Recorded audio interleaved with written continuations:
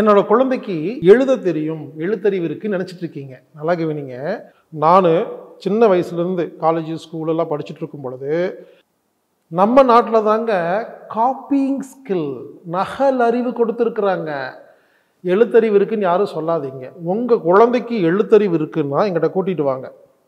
Europe நாட்டிலுங்க இருக்கிற எல்லா பாடத்திட்டத்துலேயும் நீங்கள் ஃபோன் பண்ணி கேளுங்க. சொந்தக்காரங்க தெரிஞ்சவங்க இருந்தால் இனிமேலாவது பெற்றோர்கள் ஆசிரியர்கள் கல்வி சம்பந்தப்பட்ட சிந்தனையாளர்கள் கல்வி சம்பந்தப்பட்ட நிறுவனம் நடத்தும் நபர்கள் தயவு செய்து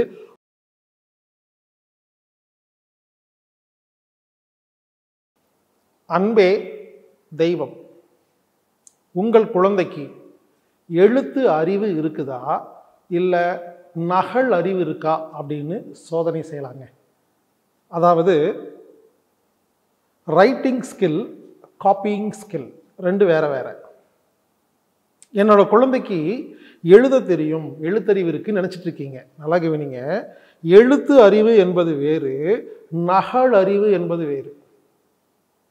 ரைட்டிங் காப்பி சிம்பிளாக சொல்கிறேங்க ஒரு மாணவன் ஒரு குழந்தை இல்லை பெரியவங்க ஒரு பேராகிராஃபை படிச்சுட்டு அதில் எப்படி இருக்கோ அதே மாதிரி எழுதுனா அவங்களுக்கு ரைட்டிங் ஸ்கில் எல்லாம் இல்லை.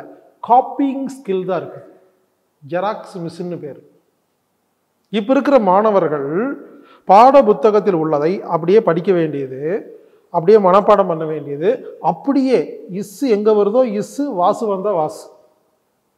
ஒரு ஸ்பெல்லிங் ஒரு சென்டென்ஸ் ஒரு வேர்டு மாறாமல் அப்படியே எழுதுனா இதற்கு பெயர் எழுத்து அறிவு இல்லை.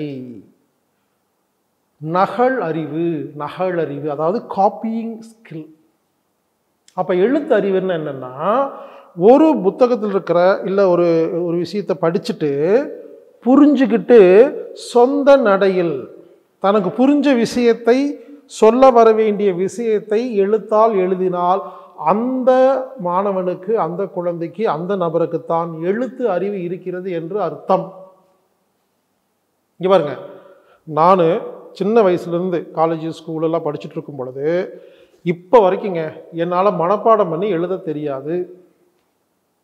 ஒரு நாலு வரி கூட மனப்பாடம் பண்ணுறது ரொம்ப கஷ்டங்க.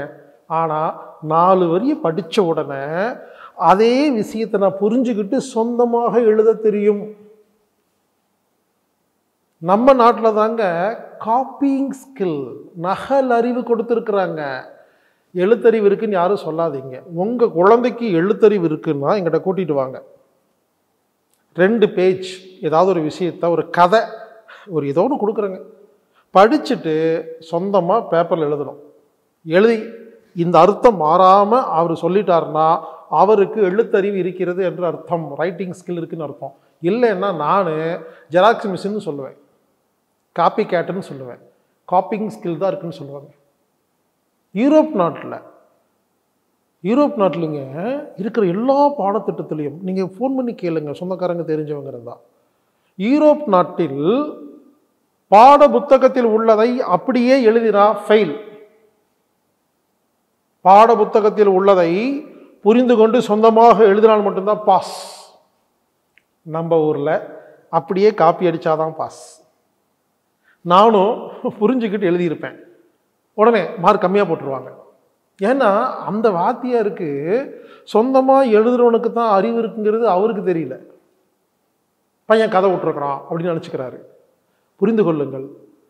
படித்து புரிந்ததை இல்லை படிக்காமல் புரிந்ததை தனக்கு புரிந்ததை சொல்ல நினைப்பதை எழுத்தால் எழுத முடியும் என்றால் உங்கள் குழந்தைக்கு உங்கள் மாணவருக்கு உங்களுக்கு எழுத்தறிவு இருக்கிறது என்று அர்த்தம். அப்படியே காப்பி பண்ணனா அதுக்கு பேர் நகல் அறிவு என்று அர்த்தம். எனவே இனிமேலாவது பெற்றோர்கள் ஆசிரியர்கள் கல்வி சம்பந்தப்பட்ட சிந்தனையாளர்கள் கல்வி சம்பந்தப்பட்ட நிறுவனம் நடத்தும் நபர்கள் தயவு செய்து உங்கள் மாணவர்களுக்கு எழுத்தறிவை கொடுங்கள் நகல் அறிவை கொடுக்காதீர்கள் சோதனை செய்து பாருங்கள். ஆச்சரியமாக இருக்கும். புத்திசாலித்தனமாக மூளை நல்லா வேலை செய்யணும்னா சுயமாக சிந்திக்கணும்னா சுயமாக சிந்திக்கும் நபருக்கு நகலறிவு இருக்காது. எழுத்தறிவு மட்டும்தான் இருக்கும். சுயமாக சிந்திக்க தெரியாத? யார் சொன்னாலும் அப்படியே நம்பி இந்த விக்கிபீடியாவை நம்பி இந்த ஸ்டாண்டர்ட்ஸை நம்பி சில பேர் வாழ்ந்துட்டுருப்பாங்க ஆ அது அப்படி தான் சொல்லியிருக்காங்க. அதை தான் நம்புவேன் அப்படின்னு இவங்கெல்லாம் யாருன்னு கேட்டிங்கன்னா காப்பி கேட் ஜெராக்ஸ் மிஷின் இனிமேலாவது நமது குழந்தைகளை ஜெராக்ஸ் மிஷினாக காப்பி மிஷினாக இல்லாமல் எழுத்து அறிவை ரைட்டிங் ஸ்கில்லை கொடுக்க வேண்டும் என்று தாழ்மையுடன் கேட்டுக்கொள்கிறேன். நண்பர்களே இந்த விஷயத்தை எனக்கு கற்றுக் கொடுத்தவர் மோனிக்ஸ் ஸ்போக்கன் இங்கிலீஷ் கிளாஸ் நடத்தி கொண்டிருக்கும் திரு மனோகரன் அவர்கள். இவர் ஸ்போக்கன் இங்கிலீஷ் கிளாஸை ஜூம் ஆன்லைன் வழி மூலமாக கற்றுக் கொடுத்து கொண்டிருக்கிறார். உங்களுக்கு விருப்பம் இருந்தால் நீங்கள் அவர்கிட்ட ஸ்போக்கன் இங்கிலீஷ் கற்றுக்கலாம் எளிமையான முறையில் சிறப்பாக சொல்லிக் கொடுப்பார்.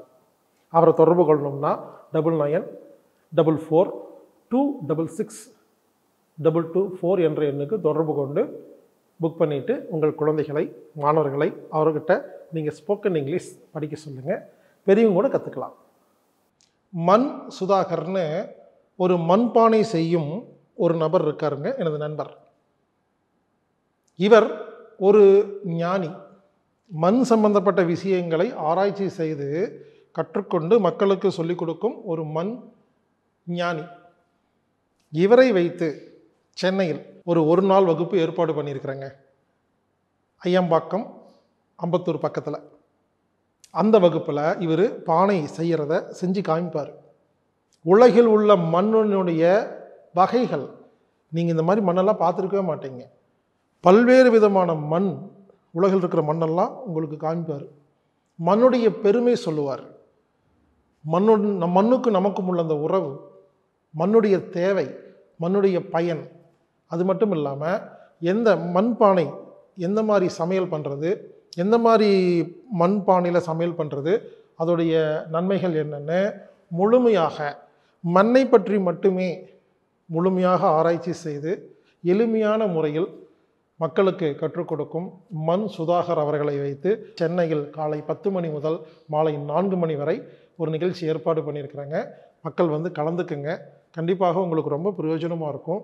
இந்த மாதிரி மண் சம்பந்தமான விஷயத்தை மட்டுமே வச்சு ஒரு வகுப்பு எனக்கு தெரிஞ்சு நடந்ததில்லை.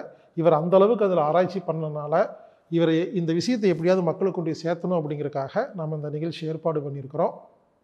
இந்த வகுப்புக்கு வரணும்னா நீங்கள் புக்கிங் பண்ணிட்டு தான் வரணும். Double eight seven zero triple six nine double six அப்படிங்கிற எண்ணுக்கு தொடர்பு கொண்டு நீங்கள் பதிவு செஞ்சுட்டு வாங்க. இதற்கான கட்டணம் ரூபாய் இரநூறு. மதிய உணவு உட்பட வாருங்கள். மண்ணின் மகிமையை கற்றுக்கொள்ளுங்கள். மீண்டும் அடுத்த பதிவில் சந்திப்போம். இப்படிக்கு ஹீலர் பாஸ்கர்.